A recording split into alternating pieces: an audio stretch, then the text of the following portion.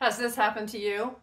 I was cleaning this cutting board, letting it dry over here on my stove top. I must have accidentally hit the burner on and I put it down, went upstairs to my office, and about five, ten minutes later, I'm smelling melting plastic or something. Come downstairs, yelled for my husband because I knew something wasn't right, and there was flames coming up through this hole. It had already melted through. All this stuff had been melted into this grate area, and I, he, my husband grabbed it and he threw it out the back door into the grass while I grabbed this from the closet. Now, I bought a four pack of this maybe six months ago because I saw a commercial and I'm like, you know, we really should have something like that. We had a fire extinguisher, but they're big, they're, they're heavier. I'm a little afraid of them. I'm like, oh, I can do this. This is small and manageable. And so I had this. I had one under the sink and I had one in the closet. I grabbed the one from the closet. I gave it to my husband. You just take this off and then you depress this.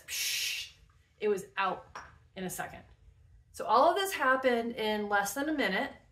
And this saved our house because my husband said there was no way that fire was going out with water.